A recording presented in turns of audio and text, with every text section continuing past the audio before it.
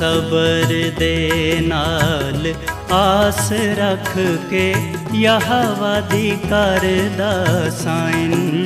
خداوند یسو مسیح کے پرفضل اور بابرکت نام میں میں ایونجلس دانش پیٹر، آپ تمام بہن بھائیوں کی خدمت میں سلام پیش کرتا ہوں۔ میری بہن بھائی، میں آج اس ایک اندرون سندھ کی گوٹ کے اندر ہوں، جہاں پر میرے پیچھے آپ اس واٹر ہینڈ پمپ کو لگا ہوا دیکھ رہے ہیں، جو آج ہماری منسٹری نے یہاں پر پلانٹ کیا ہے۔ میں آپ کو سچ بتاتا ہوں کہ یہ خداوند یسو مسیح کا دل ہے۔ بائبل مقدس کہتی ہے کہ یسو مسیح کھوئے ہوئوں کو ڈھونڈنے اور نجات دینے آیا ہے۔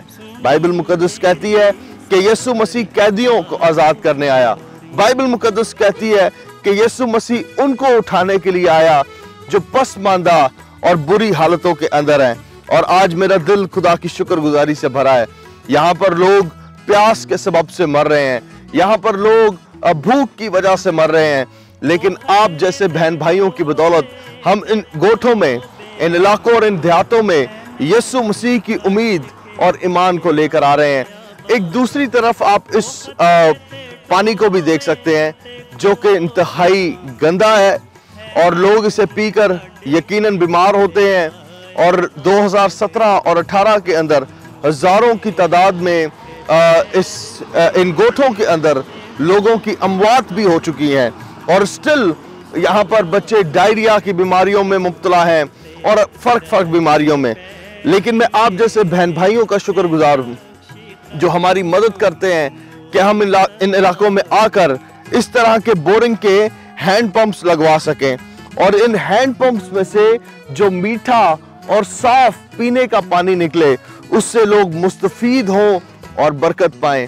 میں آپ کی دعاؤں کے لیے اور ایمان میں ہمارے ساتھ کھڑے رہنے کے لیے ہمیشہ دل سے شکر گزار ہوں۔ اور میں دعا کرتا ہوں کہ خداوند آپ کو اس کے عفظ بڑی برکت دے۔ میرے جتنے بہن بھائی مجھے اس وقت دیکھ رہے ہیں، میں آپ کو ضرور دلیری دینا چاہتا ہوں۔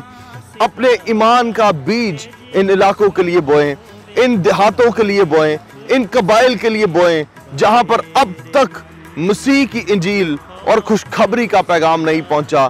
امید کا پیغام نہیں پہنچا، بادشاہت کا پیغام نہیں پہنچا۔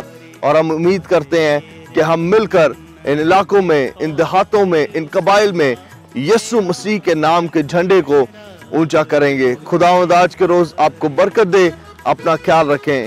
God bless you all God bless Pakistan.